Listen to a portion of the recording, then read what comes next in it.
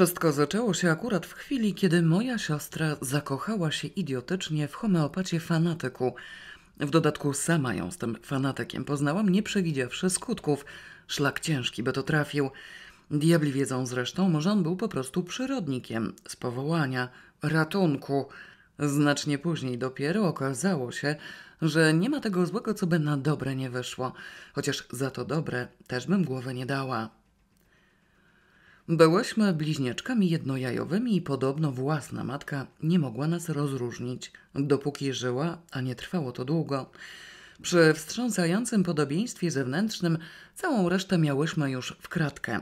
Rozbiegały nam się trochę upodobania, charaktery, zdolności i predyspozycje. Nienawidziłyśmy się śmiertelnie przez całe lata, co nie przeszkadzało nam w dostrzeganiu płynących z podobieństwa korzyści. Nienawiść wylęgła się w momencie, kiedy w wieku lat czterech razem spojrzałyśmy w lustro. Oczywiście ubierane byłyśmy jednakowo, co nie miało żadnego sensu, bo przy identyczności wyglądu należało nas zróżnicować bodaj strojem, ale widocznie nacisk tradycji był silniejszy niż zdrowy rozsądek. Spojrzałyśmy i dokonałyśmy odkrycia. To ja, powiedziała Krystyna z naciskiem pełnym oburzenia. Dlaczego wyglądasz tak jak ja? A to ja, Odparłam, pokazując którąś z nas palcem. To ty wyglądasz jak ja. Nie chcę. Nie chcę, zawtórowała mi energicznie. Przestań wyglądać. To ty przestań. Ja jestem jedna, a ty druga. To ty jesteś druga, a ja jedna. Zrób się inna. Sama się zrób. Od słowa do słowa oderwano nas od siebie, zanim zdążyłyśmy pozbawić się wzajemnie włosów na głowach. Ona ugryzła mnie w ucho, a ja jej podrapałam nos. Dławiąc się urazą, rzucałyśmy na siebie wściekłe i dzikie spojrzenia i nie chciałyśmy ze sobą rozmawiać aż do chwili pójścia do szkoły. Nawet tragiczna śmierć i pogrzeb rodziców nie miały wpływu na naszą nienawiść. Szkoła nas w pewnym sensie pogodziła. Ja byłam od stóp do głów humanistką. Ona miała talent matematyczny oraz namiętność do fizyki i chemii. Odrabiała za mnie zadanie z matematyki i odpowiadała na fizyce. Ja zaś pisałam jej wypracowania z polskiego i referata z historii. Nikt nigdy w szkole nie wiedział, która z nas jest która, ponieważ przytomnie na odpowiednich lekcjach zamieniałyśmy się miejscami. Jedyne rozumne słowa na ten temat padły z ust wychowawczyni. Możecie robić co chcecie, rzekła do nas. Uczyć się wyłącznie tych przedmiotów, które się Wam podobają i odpowiadać za siebie wzajemnie. Ale przypominam Wam, że na maturze egzamin będziecie zdawały pojedynczo. To po pierwsze. A po drugie, żywię nadzieję, że obie macie dość rozumu, żeby tych nieprzyjemnych rzeczy nauczyć się bodaj minimalnie. Przed Wami życie i nie wiadomo, jakie komplikacje mogą się Wam przytrafić. Weźcie to pod uwagę i róbcie jak uważacie. Obie jesteście inteligentne. Odwołanie się do naszego rozumu spodobało się nam jednakowo, aczkolwiek w odniesieniu do inteligencji każda z nas zapragnęła odróżnić się od tej drugiej choćby tempotą. Pragnienie było nikłe i w rezultacie ja znałam tabliczkę mnożenia, a ona pamiętała datę bitwy pod Grunwaldem i umiała pisać ortograficznie. Jedyny wspólny nam talent to były zdolności językowe podobno odziedziczone po mieszanych przodkach – tu wyjątkowo nie stosowałyśmy żadnej wymiany, przeciwnie, raczej rywalizację. Nasza rodzina miała nieco oleju w głowie i widząc zapał, stworzyła nam możliwości. Dzięki temu jednakowo znałyśmy francuski, angielski i niemiecki i dopiero dalej nas rozdzieliło. Ja się uparłam przy włoskim, a ona przy hiszpańskim. Potem ona uczepiła się szwedzkiego, a ja greki. Poliglotki, można powiedzieć. Z biegiem lat nasza wzajemna nienawiść nieco przeschła i w chwili zdawania matury byłyśmy już zaprzyjaźnione. Przy czym w wykorzystywaniu podobieństwa miałyśmy wprawę olbrzymią. Pierwotnej bezproduktywnej ucieszy dałyśmy spokój, przedkładając nad nią korzyści praktyczne. Od śmierci rodziców, która nastąpiła tuż przed ukończeniem przez nas piątego roku życia, wychowywali nas dziadkowie oraz liczni wujowie i ciotki. Warunki miałyśmy znakomite – Wielka willa w ogrodzie na skraju miasta. Wielkopłytowy Ursynów nas nie sięgnął i żaden wysokościowiec nie zaglądał nam w zęby, a za to miałyśmy świeże powietrze i wodę z własnego ujęcia. W dziesięciu pokojach willi doskonale mieściły się trzy rodziny. Babka z dziadkiem, wuj z ciotką i jedynym dzieckiem Jureczkiem młodszym od nas o sześć lat, my obie i Andzia z wnuczką. Andzia dobiegała osiemdziesiątki, czego nikt by po niej nie poznał. Trzymała się fenomenalnie i była tak zwaną starą sługą rodziny z czasów jeszcze przedwojennych. Opiekowała się naszą babką w jej okupacyjnym dzieciństwie, wnuczkę zaś sprowadziła z zaprzyjaźnionej wsi jako swoją następczynię. Nie zostanie panna Ludwika bez nijakiej pomocy, rzekła kiedyś stanowczo. Ja przysięgę składałam. Kasia po mnie nastanie, ona też ma nieślubne. Niech odchowa, a żyć z jakim jakby co może na wiarę, niech sobie ma dochodzącego. Interesowało nas nawet przez jakiś czas, czy Kazia ma dochodzącego, ale stało się to nieistotne, to znaczy owszem, bardzo ważne, bo dochodzący Kazi okazał się tak zwaną złotą rączką i załatwiał nam wszystkie naprawy, od czyszczenia rynny poczynając, a na telewizji kablowej i przenośnych telefonach kończąc. Przy telefonach zresztą pilnowała go Krystyna, doskonale zorientowana w temacie. Patrzyła mu na ręce i robiła uwagi, podobno z sensem. Dochodzące Kazi oceniał ją wysoko. Dochodzenie do Kazi w obliczu tych wszystkich usług nie miało żadnego znaczenia. Po maturze odrobinę rozdzieliło nas życie. Krystyna zajęła się elektroniką, a ja historią sztuki. Rychło po studiach stałam się prawie ekspertem w dziedzinie starej biżuterii i meblarstwa. Ona zaś wdała się w jakieś dyrdymały komputerowe, też ją ceniono wysoko. Byłyśmy bardzo ładne, może nawet piękne. Nie ośmieliłabym się uważać siebie za piękne, gdyby nie Krystyna. Patrzyłam na nią i wyraźnie widziałam, że jest piękna, a w końcu wyglądałam identycznie. Zatem również musiałam być piękna. Kształt głowy, twarz, oczy, rany boskie, jakie ona miała oczy, a prawda ja też. Tęczówki zmienionego koloru od jasnozielonego do prawie czarnego. Gęste, długie, czarne rzęsy, jak sztuczne. Śliczny nos, śliczne usta, piękną figurę i piękne, długie nogi. Miała wdzięk, nie odróżniano jej ode mnie, zatem ja chyba też. Bardziej wierzyłam we własną urodę patrząc na nią, niż widząc siebie w lustrze. Rychło przyznała mi się, że ma podobne doznania. Innymi słowy, stanowiłyśmy dla siebie wzajemnie wielką pociechę. Innymi słowy, stanowiłyśmy dla siebie wzajemnie wielką pociechę i to nas pogodziło ostatecznie. Opinia chłopaków nie miała w tej kwestii żadnego znaczenia, bo im podobały się także rozmaite mazepy. Mogli lecieć na nas, choćbyśmy były obrzydliwe, tak jak lecieli na te różne inne. Własny pogląd był ważniejszy. Obie wyszłyśmy za mąż bardzo wcześnie, jeszcze na pierwszym roku studiów i obie dokonałyśmy kretyńskiego wyboru. Żaden z naszych mężów nie był pewien, z którą z nas ma do czynienia, ale same pilnowałyśmy uczciwie własnej tożsamości. Ja nie sypiałam z jej mężem, a ona z moim. Zresztą oni nam się nie podobali. To znaczy jej mąż mnie, a mój mąż jej. Rozwiodłyśmy się bardzo szybko i równocześnie, nawet o tym nie wiedząc, to już chyba zadziałał przypadek. Jej mąż okazał się znerwicowanym impotentem, a mój podstępnym narkomanem. Obaj mało przydatni do życia i nie dało się tego wytrzymać. Już od ślubów mieszkałyśmy oddzielnie, bo babcia za resztki rodzinnej fortuny kupiła nam dwupokojowe mieszkanie na wszelki wypadek w pobliżu na Ursynowie, w prezencie ślubnym. Mieszkania nam zostały. Żaden z tych niewydarzonych głupków nie zdołał nam ich wyrwać, bo nawet porządne hochsztaplerstwo nie leżało w ich mocy. Gdyby leżało w obliczu prezentowanego przez nich niedołęstwa, może uznałybyśmy je za jakieś zalety i żyło nam się mniej więcej normalnie, aż do owego wstrząsającego wieczoru. Joaśka, słuchaj, rzekła Krystyna, przyszedłszy do mnie. Mam zgryzotę i tak myślę, że mi się przydasz.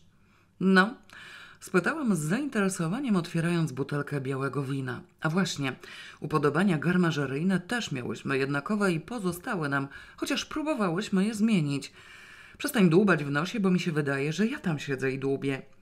Powinnaś była się już przyzwyczaić, że to ja, a nie ty. Słuchaj, skomplikowana sprawa.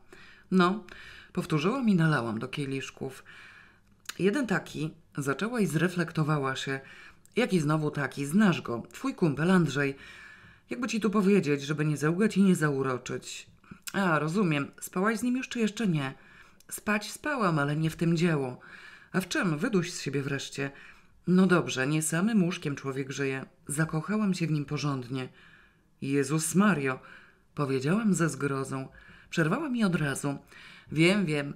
Maniak szaleniec, niedożycie, zapatrzony w swojego szmergla, pieniędzy zarobić nie umie, podejście do kobiet ma niewłaściwe. No i co z tego?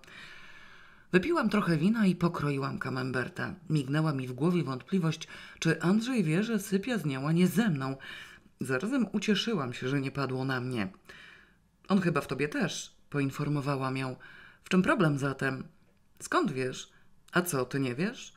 Wiem, ale jestem ciekawa, skąd ty wiesz. Miewam z nim do czynienia. Stary pokost mi badał ostatnio. Od jakiegoś czasu patrzy na mnie dziwnym wzrokiem, tak jakoś jakby chciwie. Nie rozumiałam dlaczego, bo nigdy na mnie nie leciał, ale teraz już rozumiem. Widocznie przypominam mu ciebie. Camembert był przejrzały i trochę się rozlewał. Kryśka wzięła kawałek i umazała się nim. Ciekawa rzecz, zauważyła w zadumie, oblizując palce. Jak oni to robią? Na mnie leci, a na ciebie nie, a wyglądamy jednakowo. Wnętrze mamy różne. Musiał wywęszyć. Zwracam ci uwagę, że każdy pies też nas rozróżni. I co? Bo fakt, że z nim sypiasz, to żadna zgryzota. Rozwiedziony jest. On chce wyjechać do Tybetu, co najmniej na rok albo i dwa. Jakaś fundacja się w to wdała, wielką forsę płacą na badania tej cholernej przyrody. Skoro chce badać, to primo, a sekunda ma nadzieję zarobić jednym kopem na to swoje wymarzone laboratorium. Nie spędzi się go z pomysłu, chce jechać razem z nim. Firma rocznego urlopu mi nie da, stracę robotę. Zastąp mnie. Zwariowałaś? Na jego punkcie owszem, ale poza tym jestem mniej więcej normalna. Masz nienormowany czas pracy, możesz robić co chcesz. Nauczę cię trochę o co tam chodzi w tych komputerach, nikt się nie połapie. Zakrztusiłam się winem i serem, zabrakło mi głosu i tchu, ogarnęła mnie zgroza. Miłość jej padła na mózg. Co za pomysł koszmarny. O jej robocie nie miałam zielonego pojęcia. Komputerem niby mogłam się posługiwać, ale w ograniczonym zakresie, a ona po tych maszyneriach szalała we wszystkie strony. Obłęd. Każdy jełop zorientowałby się z miejsca, że nie wiem co robię. Jej szef dostałby zawału. Wariatka. Milczałam, bo odjęło mi mowę. Kryśka oblizywała palce po kolejnym kamembercie. Oj, wprowadzę cię w temat, wielkie rzeczy, powiedziała niecierpliwie. Nie rób takiej gęby jak Piotrowin. Nie muszę w tym Tybecie siedzieć bez przerwy, mogę bywać z doskoku. Ustawię robotę, a ty tam coś poudajesz, jak mnie nie będzie, a w ogóle polecę na twój paszport, żeby nie było, że mnie nie ma. Znasz go przecież, Andrzeja mam na myśli. Co z oczu, to i z serca. Diabli go wiedzą, na co nadzieje się po drodze. Prędzej wyrzeknie się mnie niż parszywej roślinki. Chłopa nie można puszczać luzem, bo wiadomo, że głupi. Mimo woli kiwnęłam głową z tą ostatnią opinią, zgadzając się całkowicie. Alternatywą jest laboratorium, dodała jeszcze Krystyna. Cel i sens jego życia. Nie mam pieniędzy, żeby mu to urządzić. A dlaczego do cholery ty masz mu to urządzać? Spytałam zgryźliwie. Weźmiesz go na utrzymanie? W poślizg wpadłaś na emancypacji? Bogatego męża już miałam, nie? I co mi z tego przyszło? Tych ubocznych gachów to ja nie lubię. No owszem, przy mężu impotencie nerwicja miała jak w banku, a do tego był dziko zazdrosny i ubocznych gachów podrywanych dla terapii musiałaby przed nim starannie ukrywać. Okropne życie, to już zdecydowanie lepiej wyrzec się forsy. Jednakże na upiorny pomysł zastąpienia jej w pracy nie zamierzałam przystawać. W grę wchodziły właściwości umysłu, które miałyśmy różne i sam wygląd zewnętrzny nie wystarczał. Już prędzej ona mogłaby zastąpić mnie, chociaż zapewne nie uniknęłabym kompromitacji, bo węch do antyków z kolei miałam ja, a nie ona. Kryśka upierała się przy swoim. Protestowałam energicznie. W przerwach między inwektywami próbowałyśmy znaleźć jakieś inne wyjście, posuwając się nawet do myśli o złamaniu Andrzejowi nogi. Bez skutku jednak. Awantura rosła i zapewne pokłóciłybyśmy się śmiertelnie, gdyby nie to, że zadzwonił telefon. W słuchawce odezwała się ciotka, żona naszego wuja z willi za Ursynowem. Joasiu, do ciebie dzwonię, więc to chyba ty. Przyszedł do was list polecony z paryskiego notariatu. Podwójnie na obie do ciebie i do Krysi. Gruby dość. Co mam z nim zrobić? Zaraz. Odparłam z wysiłkiem, tłumiąc nieźle już rozkwitłą furię i odwróciłam się do Krystyny. Złym głosem przegasałam jej informację. Wzruszyła ramionami, wściekła na mnie tak samo jak ja na nią. Ze złości żadna z nas nie doceniła wagi komunikatu. Jeśli cię interesuje, skocz po niego. Ja tu poczekam i jeszcze z tobą nie skończyłam. Obróciłam tam i z powrotem w 14 minut, przewożąc grubą kopertę. Przez ten czas nasza irytacja trochę przyschła. Poprosiłam Krystynę, żeby na chwilę wypchnęła z siebie sercowe perypetie. Sprawdźmy, czego chce od nas paryski notariusz. Otworzyłam kopertę, bo ona wciąż, mimo oblizywania, była oblepiona kamembertem. W dziesięć minut później obydwie nieco osłupiałe, ale już mniej więcej pogodzone, wciąż jeszcze wczytywałyśmy się we francuski tekst. Paryski notariusz naszej francuskiej prababki zawiadamiał nas, że hrabina Karolina de Normois umarła i uczyniła nas swoimi spadkobierczyniami w równych częściach z pewnym zastrzeżeniem i obecność co najmniej jednej z nas z upoważnieniem drugiej jest niezbędna. On sam ma primo pewne wątpliwości, bo kolejnym hrabią de Normois mógłby zostać nasz wuj, gdyby przeprowadzić stosowne działania prawne, sekundo dodatkową korespondencję dla nas, która zgodnie z życzeniem nieboszczki nie może zostać powszechnie ujawniona. Jego osobistym zdaniem wielkiego znaczenia to nie ma, ale wola zmarłej jest święta. Popatrzyłyśmy na siebie i kryśce Andrzej nie tyle wyleciał z głowy, ile nieco przybladł. A cóż to ma znaczyć? spytała surowo i nagle jakby zmieniła nastrój. Czekaj, spadek po prababci? Ona biedna nie była, o ile sobie przypominam. Czekaj, może ja bym mogła nakichać na to, że mnie wyleją z roboty? Prababcia majaczyła nam niewyraźnie w pamięci. Byłyśmy kiedyś u niej obie, bardzo starsza dama na wózku inwalidzkim, którym posługiwała się zgoła koncertowo. Zazdrościłyśmy jej tego pojazdu z całej siły i marzyłyśmy o tym, żeby się kiedyś na nim przejechać samodzielnie. Nie wyszło, prababcia go prawie nie opuszczała. Poza tym był zamek, jak dla mnie strasznie wielki i nadwyraz skomplikowany. Jakieś gospodarstwo wiejskie, żadne dziwo. Rok w rok na wakacjach stykałyśmy się z czymś takim. Winnica, gdzie dojrzewały winogrona, pokojówka i lokaj, którzy patrzyli na nas niepojęcie rozanielonym wzrokiem. Dzieci mają instynkt. Korzystałyśmy z niego, domagając się najdziwaczniejszych produktów spożywczych. Zaspokajano nasze fanaberie z czułością. Razem wziąwszy, podobało nam się tam w tym zamku, który podobno należał do naszej rodziny. Odrobina nieśmiałości ogarniała nas tylko w obliczu prababci, która ze swojego wózka przyglądała nam się z wielką uwagą. Francuski język sam wszedł nam w usta i wyraźnie ją to cieszyło. Daj ci Boże zdrowie, powiedziałam ze szczerego serca. Może i. Może pojechałabyś uprzejmie najpierw do Paryża, a dopiero potem do Tybetu. Skoro prababcia wywinęła taki numer, czekaj, tu jest jeszcze coś o hrabiostwie wujka. Czy to nie on powinien dziedziczyć? Znałam wujka tak samo jak ona. Pomyślałam, że musiała zgłupieć do reszty. Nawet jeśli to co? Uważasz, że podważy testament? Kto? Wujek Wojtek? No nie, zreflektowała się Krystyna. Ani wujek, ani ciotka, ani babcia. Czy babcia nie była z prababcią w wojnie? Na moje oko była. Odczep się ode mnie chwilowo. Zanim co, skoczmy do rodziny, potem się zastanowisz, kiedy Andrzej wyjeżdża do tego Tybetu? Za dwa tygodnie. To jeszcze zdążymy pomyśleć. Nie chcę wprowadzać żadnych zadrażnień rodzinnych, powiedziała z zaciętością babcia Ludwika. Ale widzicie, moje dzieci, rodzona matka zostawiła mnie samą w czasie wojny i żeby nie spadek po babci, umarłabym z głodu. Za ten spadek wszyscy żyjecie do tej pory, a z Normua nie chce mieć nic wspólnego. List, mówicie? Jeśli wasza prababka zostawiła dla was jakiś list, możecie być pewne, że dotyczy biblioteki. To była jakaś obsesja od pokoleń. Mnie też usiłowano do tego zapędzić, ale nie dałam się. No owszem, wyjdziecie na swoje. Czy prababci w ogóle coś z majątku zostało? spytała Krystyna. Czy tylko ta ruina zamkowa? W jakim sensie biblioteki? spytałam równocześnie. Co z biblioteką należało zrobić? Nie mówcie do mnie razem, bo mnie to denerwuje. O co pytacie? Milczałyśmy, bo było absolutnie pewne, że znów odezwiemy się równocześnie. Siedziałyśmy z babcią na oszklonym tarasie wśród roślinności bez mała tropikalnej. Zawsze na tym tarasie istniał kwietnik, pod nim zaś podobno w czasie wojny zrobiono skład broni. Dziw, że rodzina weszła z tego z życiem. Babcia znała nasze cechy, chciała być sprawiedliwa.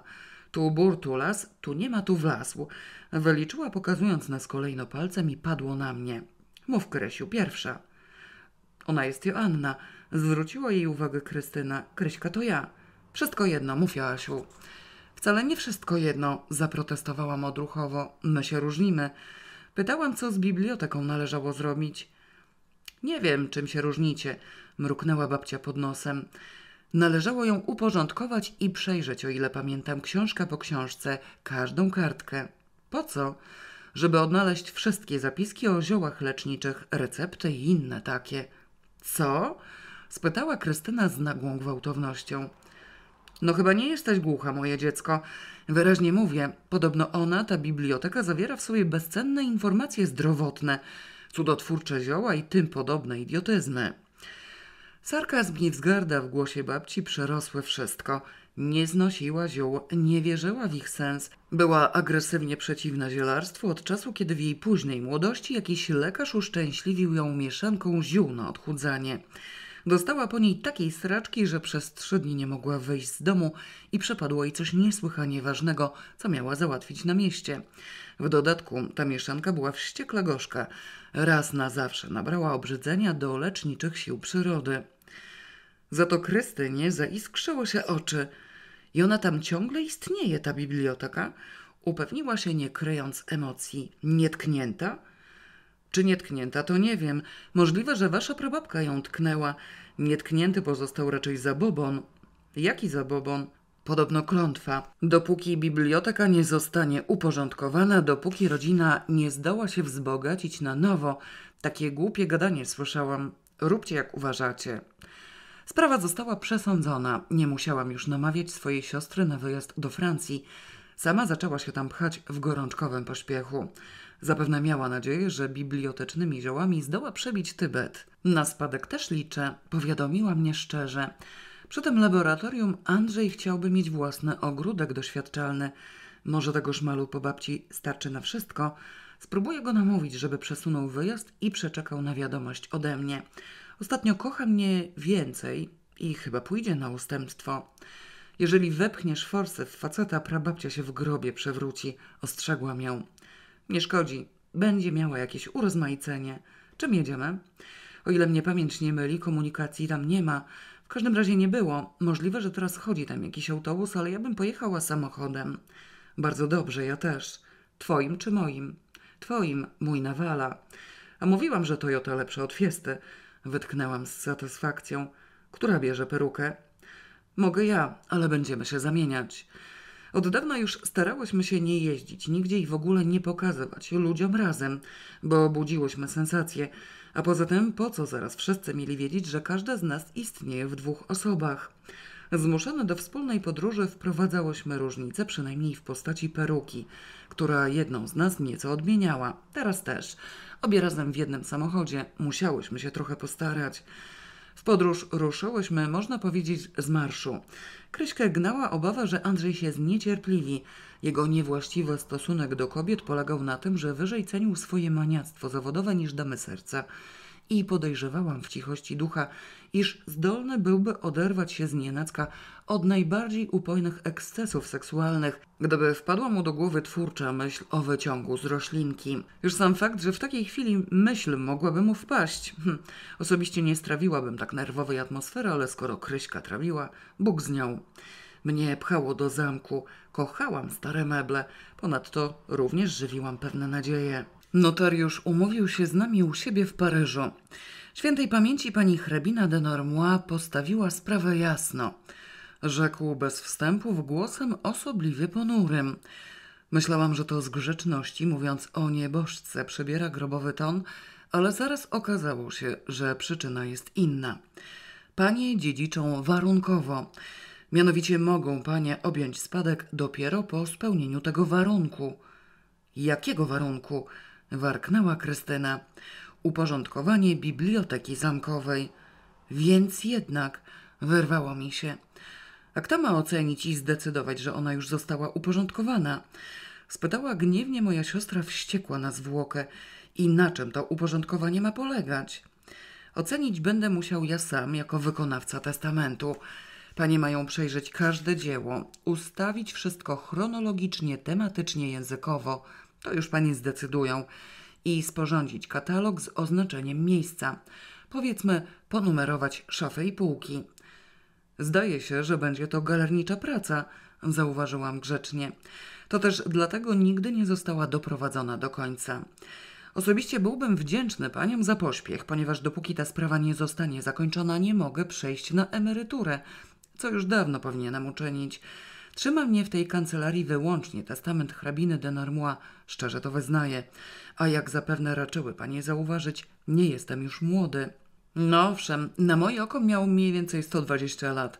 Z całego przemówienia oraz z jego tonu wynikało, że prababcia nieźle mu dogodziła. Nam też. Czy ogólnie rzecz biorąc, może nas pan poinformować o wysokości spadku?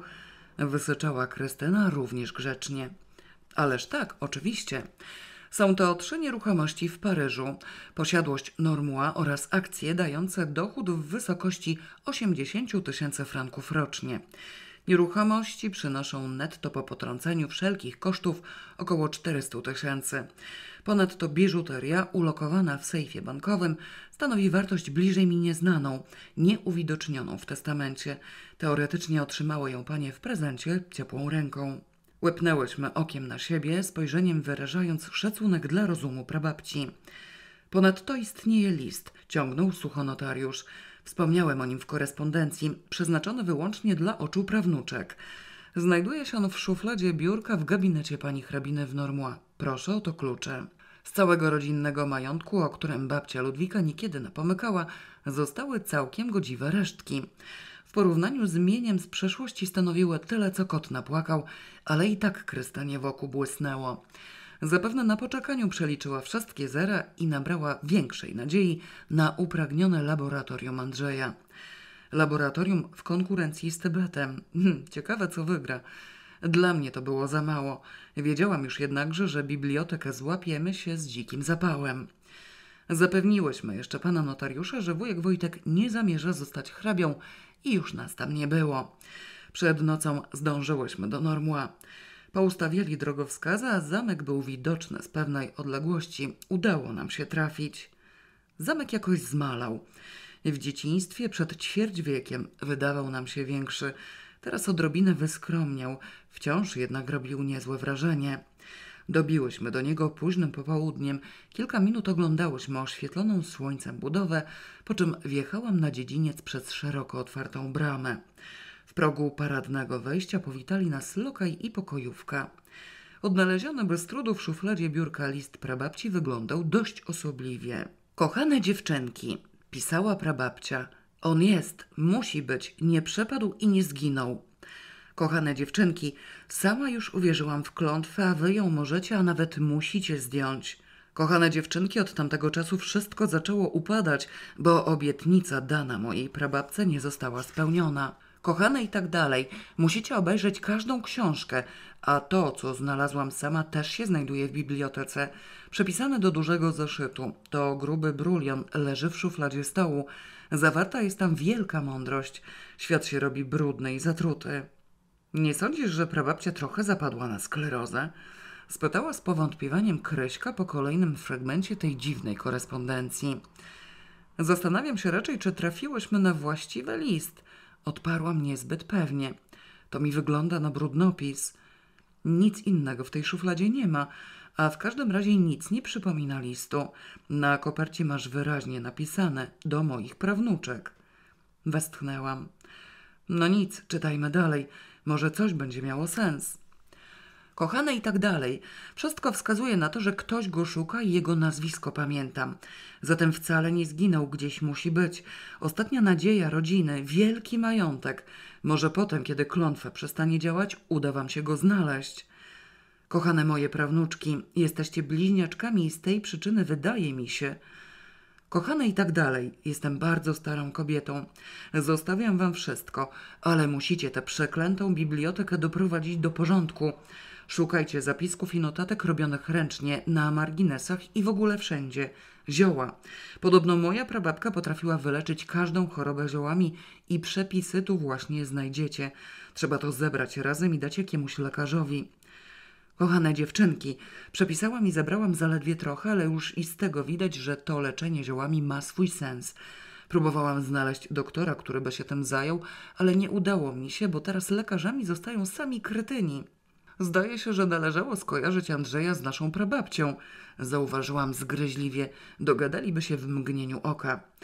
A jakbyś zgadła, Ale wygląda na to, że babcia nic nie pokręciła. Rzeczywiście w grę wchodzą zioła i nawet o klątwie mowa. Odwróciłam zapisaną kartkę. Rany boskie, osiem stron tych kawałków, same początki. Nie mogła się prababcia chociaż trochę rozpisać? W kółko to samo, skrzywiła się Krystyna. Aż trudno wydaje mi się, że z samej grzeczności musimy wszystko przeczytać. Jedźmy dalej. Kochane moje dziewczynki, największe urozmaicenie widzę w nagłówkach. Mruknęłam z niechęcią. Powinnam wam opisać całą tę historię, tak jak ją słyszałam od mojej matki, a ona od swojej babki. Byłabym pewna, że już wszystko przepadło, gdyby nie te ostatnie wydarzenia. Głupcy, tu usiłują szukać, tu, gdzie z pewnością go nie ma. Kochane dziewczynki, jak się wchodzi, to ten pierwszy róg na lewo był początkiem i od rogu w prawo szukałyśmy, moja matka i ja. Przejrzałam cały segment półek, a drugiego trzy czwarte, bo potem zleciałam. Na dole drugiego segmentu było najwięcej i to właśnie przepisałam do brulionu, co trwało bardzo długo. Klątwa ciąży nad tą biblioteką, bo ilekroć któraś z nas zaczynała tę pracę, przytrafiały się jakieś nieszczęścia i kłopoty. Ładna perspektywa, mruknęła Krystyna. Kochane dziewczynki, na starość mam przeczucie, a przed śmiercią ludzie miewają jasnowidzenia, że jeśli uda wam się uporządkować bibliotekę, znajdziecie go. Jest was dwie. Kogo u diabła znajdziemy? Zirytowała się Krystyna. Szkielet, który należy pochować w poświęconej ziemi? Żeńszenia, podsunęłam zjadliwie. Korzeń mandragory.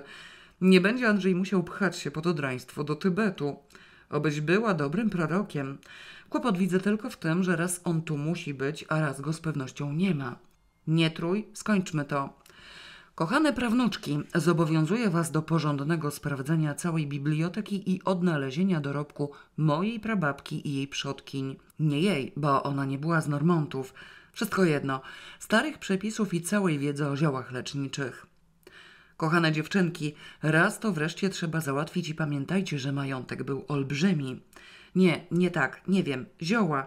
Moja babka przysięgała, że sprawę ziół załatwi. Musicie to zrobić, żeby znalazła spokój w grobie. Krystyna zaczęła się śpieszyć. Może przeczytaj do końca sama, a ja już pójdę do tej cholernej biblioteki. Mogę zacząć od razu. Rozumiem, że kawałek od drzwi do narożnika prababcie zostawiły odłogiem. Zacznę od drzwi. Jak już rąk nie będę czuła, oddam się lekturze. Wzruszyłam ramionami. Podejrzewałam, że nie spocznie do rana. Doping w postaci Andrzeja miała potężny. Byłyśmy już po kolacji, służba prababci po jej śmierci pozostała na miejscu i kucharka na karmienie nas uważała za swój obowiązek. Czułam się nieźle schetana, bo to ja prowadziłam całą drogę. Kryśka wolała rańskie wina i nie zamierzałam się wygłupiać. Mogłam przystąpić do pracy od rana, nie musiałam w nocy, ale skoro ona miała ochotę. Doczytałam do końca niezwykły list prababci. Nie znalazłam nim żadnej odmiany. Wciąż kawałki początku bez dalszego ciągu. Wyobraziłam to sobie tak, że prababcia siedziała przy biurku i zaczynała pisać. Nie podobał jej się własny tekst, wahała się, zaczynała na nowo. Następnie zamyślała się. Wśród wahań tkwiła przy biurku w bezruchu, z piórem w dłoni, wpatrzona w przestrzeń za oknem. Czas upływał, nadchodziła noc. Prababcia szła spać, a nazajutrz zaczynała na nowo. Furt z tym samym skutkiem. Złożone do kupy fragmenty tych początków brzmiały jednoznacznie. Należało uporządkować bibliotekę i odnaleźć w niej wiedzę o ziołach leczniczych. Istna Niagara na młyn Kerstynę. Miało nam być łatwiej, ponieważ byłyśmy bliźniaczkami. No może, zawsze cztery ręce to więcej niż dwie. Ponadto jakiś on, zarazem obecny i nieobecny, mógł się nam przy tej okazji przytrafić i wzbogacić nas ogromnie. Proszę bardzo, czymkolwiek ten on był, chociażby zabytkowym szkieletem, nie miałam nic przeciwko ogromnemu bogactwu. Byłam bowiem taką samą idiotką jak moja siostra. Też się zakochałam na śmierć i życie, z tą tylko różnicą, że ten mój był upiornie bogaty. Możliwe, że byłam nawet większą idiotką. Pieczołowicie złożyłam i schowałam do koperty korespondencję prababci i udałam się do biblioteki. Nawa kościelna to była, a nie biblioteka. Dwadzieścia metrów na osiem, prawie pięć metrów w górę i wszystkie ściany pokryte książkami. Kryśka wzięła zdrowe tempo. Od razu za drzwiami potknęłam się o powywlekane z półek stosy. Moja siostra siedziała na ziemi, drapiąc się w głowę. Dobrze, że przyszłaś, powiedziała na mój widok. Słuchaj, tu jest dziki melanż, za cholerę nie wiem co robić. Homer w oryginale, bajki La Fontaina, Alicja w Krainie Czarów po angielsku, jakiś niemiecki Gebreiter, chemik z XVII wieku. W życiu o takim nie słyszałam. Marquis de Sade, rozprawa o maszynach parowych. Po jakiemu? Zaciekawiłam się. Nie wiem, a po francusku. A teraz trafiłam na mowę Cezara po łacinie. Nie jestem pewna, czy to nie podręcznik. Wszystko na kupie. Pojęcia nie mam, jak to. Przerwałam jej. Zaglądałaś do środka? Do jakiego środka? No owszem, sprawdzałam strony tytułowe, bo diabli wiedzą. Nie, sama słyszałaś i czytałaś, kartka po kartce. Na każdym marginesie może być coś napisane. Żebyś pękła, powiedziała Krystyna z całego serca i podniosła się z podłogi. No dobrze, niech to piorun strzeli, idę spać. Jutro będziemy musiały zastanowić się jakoś porządnie. Szczerze ci powiem, dziwiło mnie, że przez tyle lat nasze babki i prababki nie odwaliły tej roboty. Krystyna na zajutrz wieczorem. Nie zdążyłam wyrazić swojego zdziwienia, a teraz już mi przeszło. Katorżnicza praca. Miałyśmy za sobą ledwo połowę tego kawałka pomiędzy drzwiami i narożnikiem, przy czym jeszcze nie zdążyłyśmy podjąć decyzji, jak to później ustawiać. Kryśka złościła się, że nie ma pod ręką komputera, który zdecydowałby za nas, ale i tak ten komputer trzeba było napchać informacjami. Tytuł, autor, data wydania, język, treść. Marginesów oglądać sam z siebie zapewne by nie chciał, więc korzyść niewielka. Tyle udało nam się wykombinować na początek, że te w tych kupach układanych na podłodze powinny jakoś do siebie pasować. Przynajmniej oddzielić markiza de Sade od maszyn parowych. Też się nad tym zastanawiałam, stęknęłam w odpowiedzi. Miały służbę, pachołek względnie lokaj mógł nosić ciężary, a każda z nich siedziałaby na tyłku, oglądała i zapisywała. Może im się lokaje zbyt szybko wykruszali, przełamywało ich w krzyżu albo dostawali ruptury. Może, ale podejrzewam raczej, że to kwestia tego sukcesywnego ubożenia. Popatrz na służbę obecną. Trzy sztuki w wieku emerytalnym i cześć. Jeśli którejś babci brakowało pomocników, dużo zrobić nie dała rady. Nie sprawdziłyśmy jeszcze tych mebli w gabinecie i sypialniach, przypomniała Kreśka, siadając na dolnym szczeblu drabinki i ocierając pot z czoła. Tam zdaje się ta cała wiedza przyrodnicza jest już zebrana, brulion prababci i tak dalej. Usiadłam dla odmiany na stosie książek w twardych oprawach. To sobie zostawimy na deser. Będziemy miały samą przyjemność, mało męczącą. To również miałyśmy wspólne. Deser na koniec. Zawsze zjadałyśmy najpierw to gorsze, najlepsze zostawiając na zakończenie. I zdarzało się, że jedna drugiej zeżarła ów ostatni kąsek. Też nam to przeszło. Popatrz, jak myśmy wyszlachetniały, zauważyłam smętnie. Od ilu lat już nie wydzieramy sobie z zębów końcówki. I za szlachetność od razu zostałam wynagrodzona, odparła żywo Krystyna, przeglądając jakąś książkę. Proszę, wreszcie coś.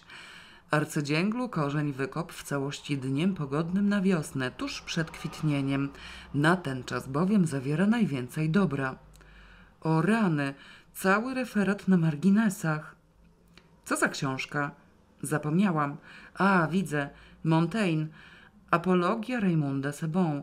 Nie znam człowieka. Przepisać to od razu? Przepiszę, przynajmniej odpocznę od tej gimnastyki.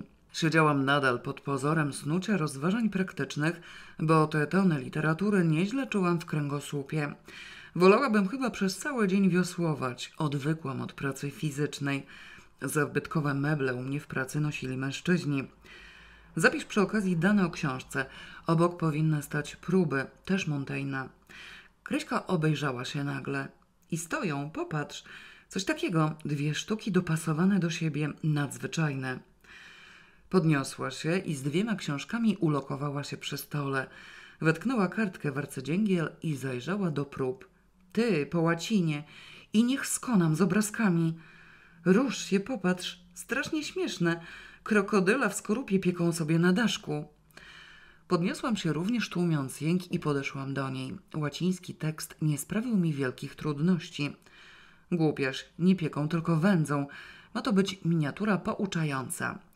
Osobiście do wędzenia takiego zająca jednak bym wypatroszyła, skrytykowała Kryśka i obdarła ze skóry, nie mówiąc o krokodylu, chociaż może to aligator. W kwestii skóry niewielka różnica. Mam nadzieję, że nikt się tą wskazówką nie kierował. Nawet zaraz, nawet w XVI wieku? Zastanowiłam się przez chwilę.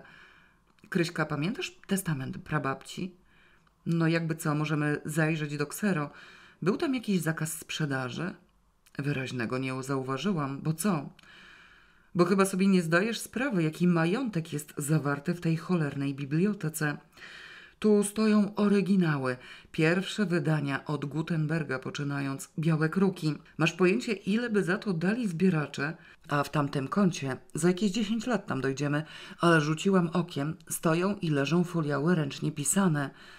Słuchaj, to jest dzika forsa, gdybyśmy chciały puścić na aukcji okazy muzealne. Krystynę moja uwaga zainteresowała, zastanowiła się. Ja bym takiego wędzonego w skórze krokodyla nie kupiła, ale każdy ma swojego szmergla. Tylko powiem ci, zawahała się. No, pogoniłam ją wiedząc już, co powie. Takie odniosłam wrażenie. Prababcia żadnej sprzedaży nie przewidywała, nawet jej nie zaświtało, dlatego nie zabroniła wyraźnie. I przyznam ci się na szmal, jestem chciwa jak harpagon, ale czuję w sobie nakaz moralny. Do przełamania ostatecznie jednakże głupio. Westchnęłam ciężko i wróciłam na stas książek. Miałam dokładnie takie samo wrażenie. Prababcia zobowiązała nas do pieczy nad tym chłamem nie po to, żeby go rozproszyć między ludźmi. Miał tkwić tutaj, zapewne tak długo, aż się zamek rozleci. No być może w ostatniej chwili należało go uratować, wynosząc gdzie indziej. Cholera, powiedziałam smutnie. Krystyna wdała się już w ten arcydzięgiel, z zapałem przepisując notatki z kolejnych marginesów, żądając niekiedy mojej pomocy, bo staroświeckie pismo i język znałam lepiej niż ona. Za to nazwy różnych zielsk miała opanowane we wszystkich możliwych językach. Wiedziała nawet, jak jest po grecku drapacz lekarski, mimo że język grecki znałam ja, a nie ona. Musiała się w tym Andrzeju zakochać naprawdę bez opamiętania. Zabrałam się znów do roboty. Po tygodniu z hakiem udało nam się wreszcie przejść na następną ścianę za te segmenty przejrzane przez nasze prababki. Jako ostatnie objawiły się chyba myszy. Całe dwie półki lektur składały się prawie wyłącznie z drobnych strzępków, starannie poklejonych i zgoła niemożliwych do odczytania. Przez lupę badałyśmy tekst, zaniedbanie nie wchodziło w rachubę. Kryśka trafiła na jakieś himalajskie zioło i dostała istnego szału. Mania Andrzeja musiała być zaraźliwa. Nic dziwnego, że na nic więcej nie miałyśmy ani siły, ani czasu. Własną namiętność do starych mebli zostawiłam na uboczu. Do sekretarzyków, toaletek i biurek po prababciach żadna z nas nawet nie zajrzała. Jednakże prababcia Karolina dostarczała nam odrobiny ułatwienia. Zostawiła mianowicie na odpracowanych już półkach porządne spisy zawartości i to mogłyśmy ominąć. Jej ewentualne zdobycze postanowiłyśmy odnaleźć i sprawdzić później. Brudne byłyśmy nieziemsko, bo nawet w zamkniętych szafach kurz leżał wiekowo. Dobrze chociaż, że wszystkie instalacje w zamku działały i mogłyśmy się myć pięć razy dziennie. Za to kwestie uczuciowe zelżały nieco, bo moja siostra miała dość rozumu, żeby od razu zadzwonić do ukochanego maniaka. Andrzej wedle jej relacji zawahał się mocno. Ostatecznie mógł z tym Tybetem trochę poczekać. Ciągnęły go tam wielkie nadzieje, tak roślinne jak finansowe, ale osobliwości naszej biblioteki zainteresowały go, kto wie, czy nie bardziej, i na razie postanowił zostać, jadąc ewentualnie z drugą częścią ekspedycji. Głupi pomysł, że Krystyna łże na szczęście nie zaświtał mu w głowie, co Kryśka natychmiast wykorzystała.